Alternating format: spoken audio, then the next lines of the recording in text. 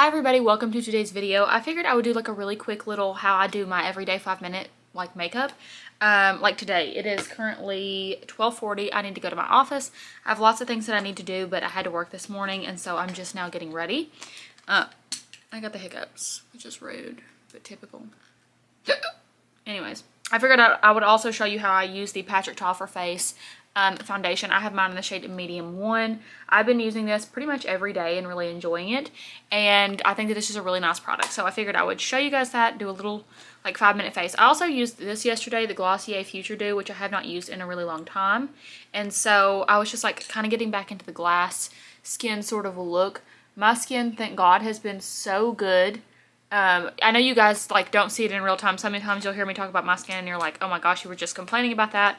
But if you've ever struggled with acne or like just skin issues in general, then you will get my pain. But my skin has been really good recently, thank God.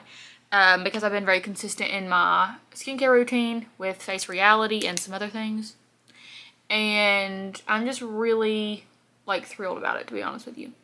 So that's that. And yeah, so Oh, first thing I'm going to do is take my e.l.f. Flawless Brightening Concealer. I have mine in the shade Light 26N. I love this concealer. I think that it is absolutely phenomenal. I love that it has a little brush applicator. I love that it's really light. Um, it's light coverage. It's light feeling on the skin. It's just a beautiful concealer. I bought it in another shade the other day, actually, um, just to have. Um, so I just pat that in around my eyes. A lot of times I will use a beauty sponge, but I do not have one that's damp. And also, I don't really care um, because this formula works really well with your fingers, works well with really anything. Um, and it's just easy. So that's my step number one. Always that concealer. And if there's any other places that you need to spot concealer something like around my nose is usually kind of a little red. That's something I'll do. But one thing that I really recommend doing for um, natural looking makeup is leaving your forehead um, pretty much with no makeup on it. That's one of the best things you can do because your forehead is a place that gives away. Your forehead and like your pores right here is kind of give, what gives away whether or not you're wearing a lot of makeup or um, powder or foundation or anything like that. So that's that. That's one of the reasons that if I'm wearing foundation I love the Oxygenetics and I really love this Patrick Ta because it does not look like foundation at all. Um, it looks just glam but not heavy. It's like the perfect the perfect foundations, no lie. So I love them. I got some little eye boogies. So that's step number one is concealing um, anything that I want to be concealed. Step number two, usually for me, is using this bronzer. So this is my Dior, Dior powder in the shade 5N. Um, I do need to pick up a lighter shade, and I've said that multiple times, but I've still yet to pick up a lighter shade. So I'm just going to use that and like dust it lightly all over my face. The reason I like this so much is because it is a powder. And so instead of it being a bronzer where, I don't know, it's just a little bit easier to build up, the no powder powder just is really, really lightweight. And it just provides me with like the perfect undertone of um, like a tan. Like it just looks really natural on my skin. It wears really nicely throughout the day and just gives me like a flush to my cheeks, which I love. So I'm just going to do a little bit of that. And I've actually been using this blush, which is from MAC. This is the MAC Glow Play blush in the shade um, So Natural. It's just got a beautiful color, beautiful texture, and like a luminosity to it. So I've been taking it on this brush. This is the Grande Cheek brush from A-R-A-C-E-L-I. I don't know how you pronounce that brand. You tell me. I don't know.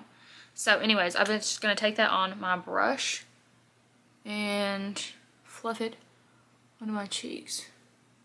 I've been into trying a bunch of new blushes lately. Now, don't get me wrong. I'm ride or die for my um, Cheek to Chic Charlotte Tilbury Ecstasy blush. I will not be living my life without it. But I'm always trying to make up, trying new things. And I just love blush. Like, blush is one of those things that I just adore. So, that's that. One of the next things I'm going to do is use my Future Dew. Why is my hair everywhere? I need to pop my back too. I'm going to use my Future Dew, which like I said, I haven't used in a long time, except whenever I used it yesterday, I was like, why don't I use this? I'm just going to use a teeny tiny bit, like not much at all, and place it on my cheeks, like so, and pat that in And then also on my eyelids. I used to do a glossy eye look all the time and I kind of miss it to be honest with you. Okay, next thing I'm going to do is my eyebrows. I do think that it is necessary to do your eyebrows when you are doing any like any amount of makeup whatsoever. Like just doing your eyebrows makes a big difference and it makes me feel more put together and like makes me feel like I look better. So my eyebrows will be done. But you know what? I can't find my eyebrow gel and it makes me want to run away. I found it, no worries. I'm going to use the e.l.f. Wow Brow in the shade Neutral Brown. I'm always using this, to be honest with you. I just follow my natural brow shape. Let me bring you in a little bit. I follow my natural brow shape. And then right there where I have my scar, I just fill it in a little bit. And then same thing to my other side. So that's that. Then I'll take my um, Sephora Collection Brow Pencil in the shade Medium Brown that I always use. And there's any little places I want to fill in, I like to fill in the front of my brow just a little bit. I'm using my viewfinder. Okay, now I'm going to use my Patrick Ta um, foundation. I'm also going to use the brush that it like that's made for it. I really like the brush to be honest with you.